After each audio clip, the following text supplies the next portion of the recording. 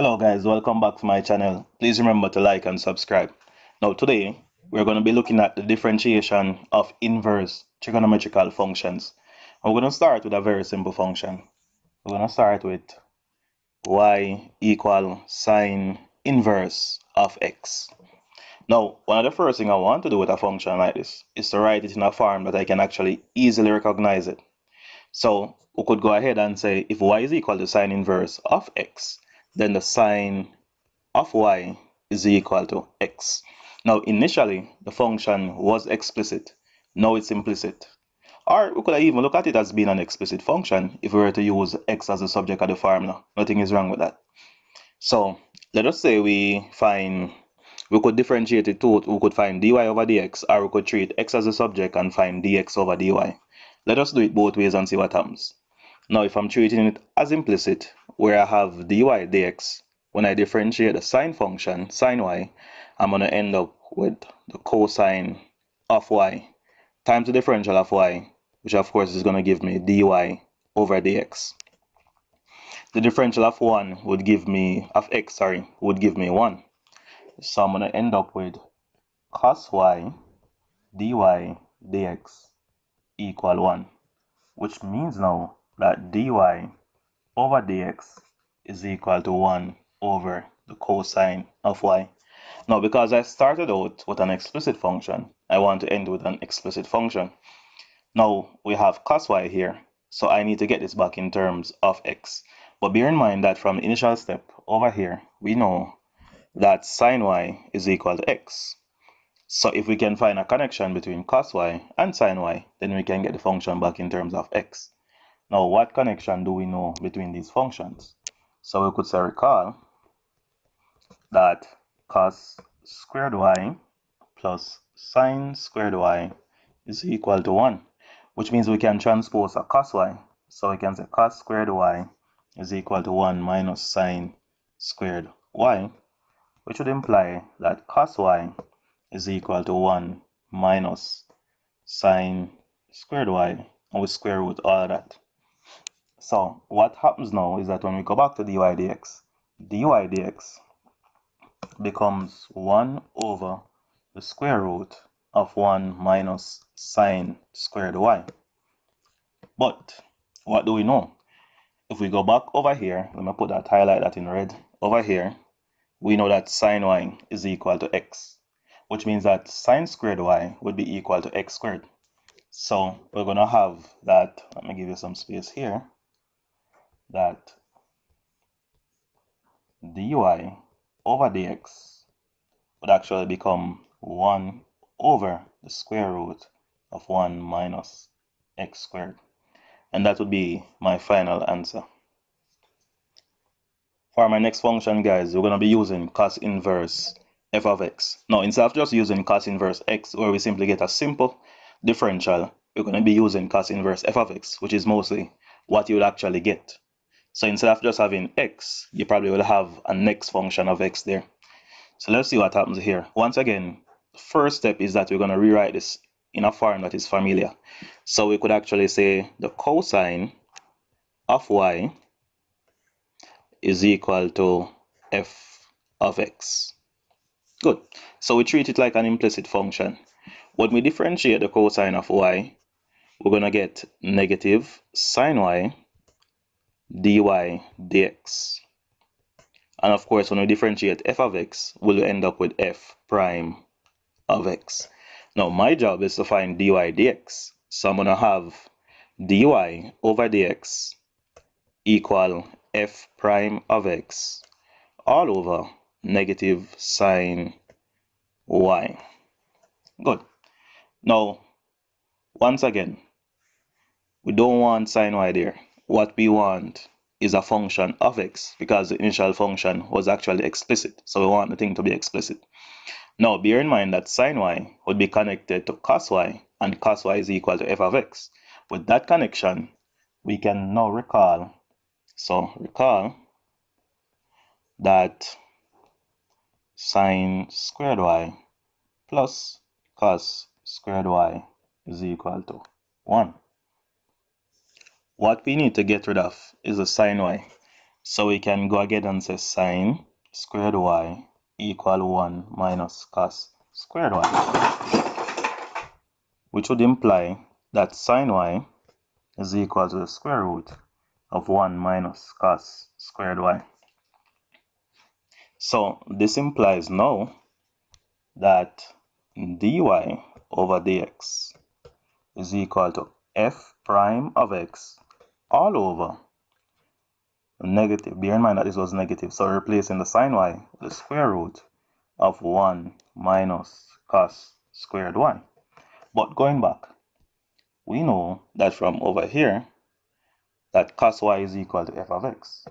So what is going to happen is that this is going to become dy over dx is equal to f prime of x all over negative square root of 1 minus f of x all squared. So with a minus there, to make this look a bit more presentable, we could say negative f prime of x over the square root of 1 minus f of x squared. And that's a general rule for the differential of y equal cos inverse f of x. For my next function, we'll be exploring y equal tan inverse of f of x. So once again, you know the procedure. We're going to have to rewrite this function at first. So we can actually say that the tangent of y is equal to f of x. Once again, making the function implicit. So when I differentiate tan y, I'm going to get sec squared y times the differential of y, which would give me dy over dx, equal the differential of f of x, which would be f prime of x. We transpose for dy dx, so dy dx is going to become f prime of x all over sec squared y. Now, of course, we want a function to be explicit. We know that tan y is equal to f of x. And we also know that there's a connection between sec squared y and tan y. So right now we can actually recall, so recall that 1 plus tan squared y is equal to sec squared y. So what it means is that where I have sec squared y, we can simply put 1 plus tan squared y there.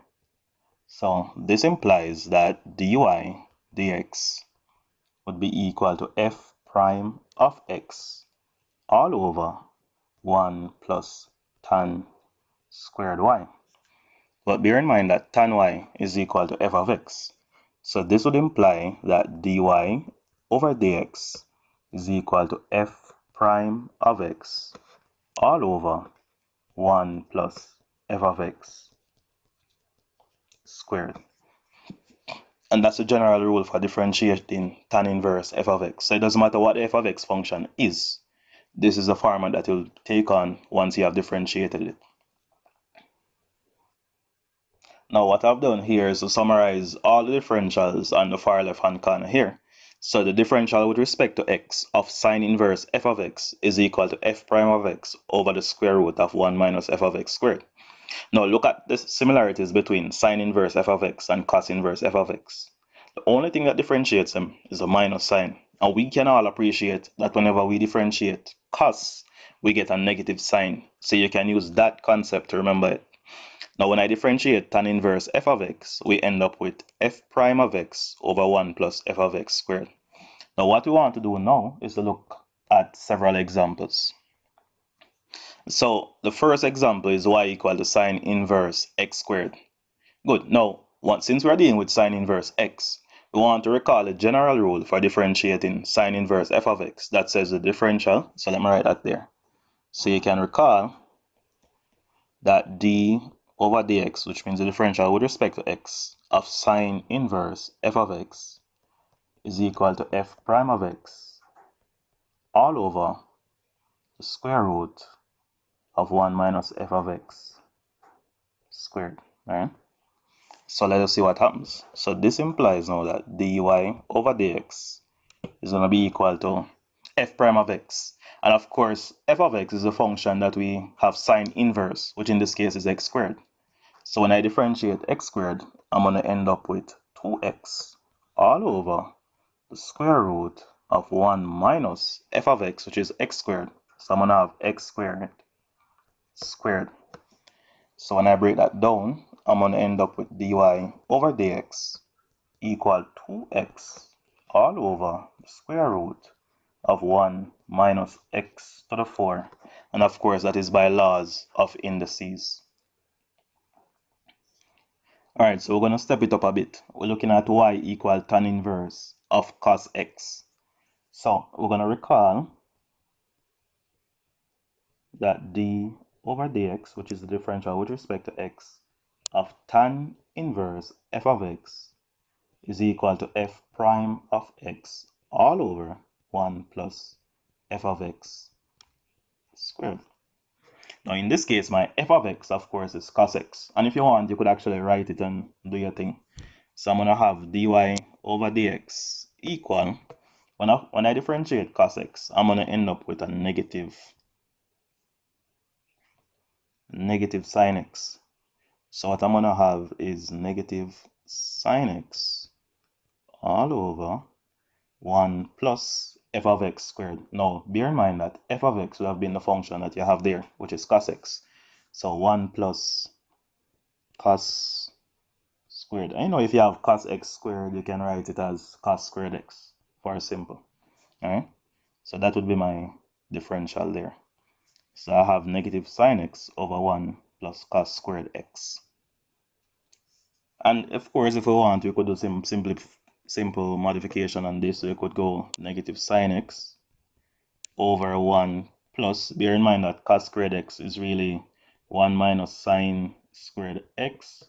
Not necessarily in this particular question, but we end up with negative sine x all over 2 minus sine squared x. It could have been a proof question, so it's important to know how to modify trigonometrical identities. Right? So that is what we'll actually end up with.